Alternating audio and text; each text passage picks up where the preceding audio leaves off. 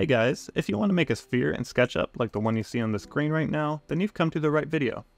The first thing you're going to have to do is go up to the toolbar and select the circle tool, and you're going to want to create a circle on the horizontal axis.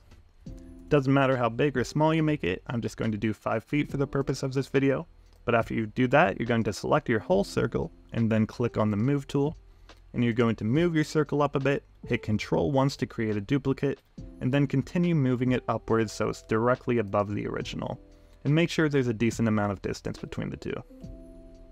After that, we can zoom on to the top one, with it all still selected, and we're going to then click on the rotate tool.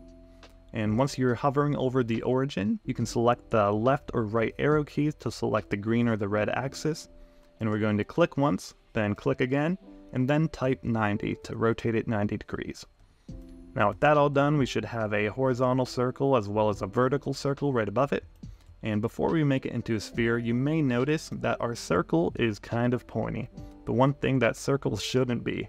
So if you want to fix that, you can click on the edge of the circle, and under Entity Info and under Segments, you'll see that we have 24 segments in this circle. If you want to make it smoother, we can simply increase this amount. I usually like to multiply it by 3, so 24 times 3 would be 72, I believe. And you can see it instantly get rounder. Just bear in mind that the larger this number is, the more laggier your SketchUp model might be down the road. So after that done, uh, we can make sure you have this uh, follow me tool installed first, or not installed, just active. So we can go to view, toolbars and it should be under the edit tab so make sure you have the edit tab open so we're going to click on the edge of the first circle then click on the follow me tool and all we have to do is click once on our sphere and as easy as that we can delete the original circle down there and we have our sphere.